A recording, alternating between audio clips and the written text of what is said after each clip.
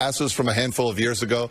They were once billed as the next big thing in tech, but never really went too far. Today, that technology is being used again. This time, it's helping the visually impaired see. ABC 7 News reporter David Louie explains how it works. Go ahead and just pull them over your ear like normal glasses. Neeraj Gupta is hoping these special glasses are going to be a life changer.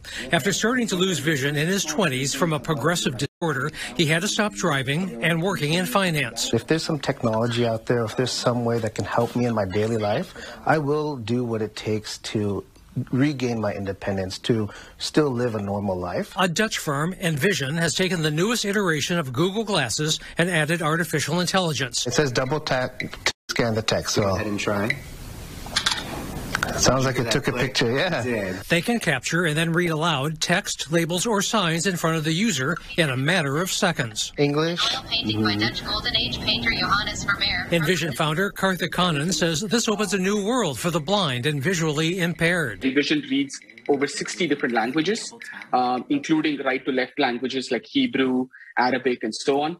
It reads handwritten languages, uh, handwritten scripts as well. Envision glasses can create a database of objects and faces, so when a user walks into a room, the glasses will describe who or what is there. And when a user needs help, the glasses will call an ally, displaying what the user's glasses are seeing. Then they can have a hands-free call to help the user navigate a complex setting. We've got two big conference rooms in front of you, the left. To my left. Okay, great. I'm always trying to figure out, am I at the right train station? Is it the right uh, direction I'm going?